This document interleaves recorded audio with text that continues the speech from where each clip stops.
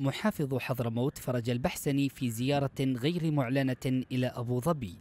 بعد أسبوع من التحشيد ضد الشرعية في المكلا قادته السلطة المحلية.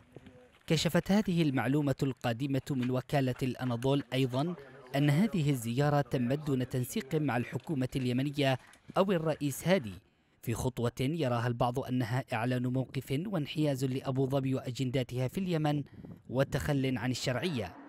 زيارة بعد أسبوع من التحشيد الرسمي ضد الشرعية وبعد إعلان البحسني عن قراره إيقاف تصدير النفط ومنع تزويد الباخرة المستأجرة من قبل الحكومة الشرعية عقب وصولها إلى ميناء الضبة النفطي.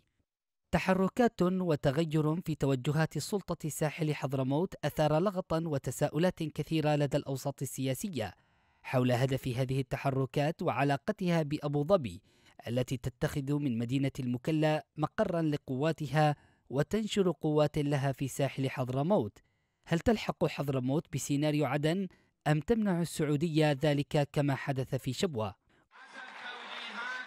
وقد شهدت المكلا تظاهرة حاشدة مساندة لقرار وقف تصدير النفط حتى استجابة الحكومة لمطالب حضرموت.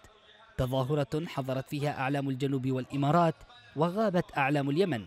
لكن وزارة المالية أكدت عقب التظاهرة التزام الحكومة واستمرارها بصرف حصة التنمية المخصصة لحضرموت من عائدات النفط المصدرة من القطاعات النفطية في المحافظة.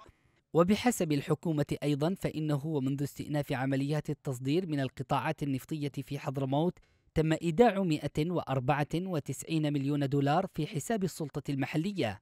20 مليون دولار فقط منها ذهبت إلى سلطة الوادي وترجمت إلى مشاريع أعلن عنها ولم يعلن عن مصير بقية المبالغ في ظل تدهور الملفات الخدمية والأمنية. هل قالت سلطة حضرموت كلمتها وحددت موقفها من الصراع الدائر بين الشرعية اليمنية والإمارات؟